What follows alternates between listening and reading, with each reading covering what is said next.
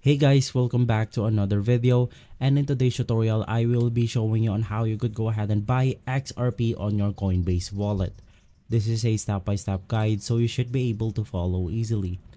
Now I am inside the Coinbase application right here as you could go ahead and see and inside it is, it is extremely simple. All you have to do is to go ahead and click on the buy icon right here for, but first things first, you have to go ahead and choose your specific address. For example, if you have two wallets right here or if you have two addressed where you keep your tokens, you could just go ahead and click on that specific wallet.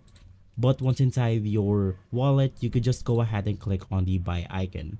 Inside, you will then be prompted to this page. Then you'll be able to see the amount you want to buy with, the network of that token, the token that you want to buy, and the payment method.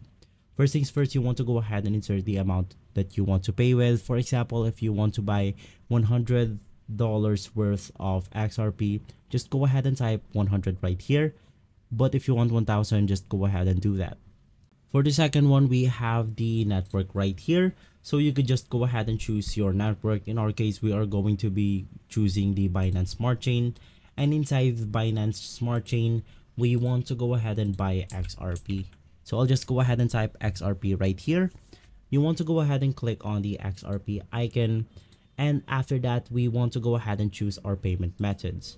So in here, you have things like your credit card, your bank, your debit card, and a lot more options that you want to or you can go ahead and pay with. So guys, in that way, you will be able to buy XRP here on your Coinbase wallet.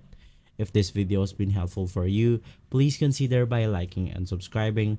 I'll make sure to see you again next time. And as always, thank you.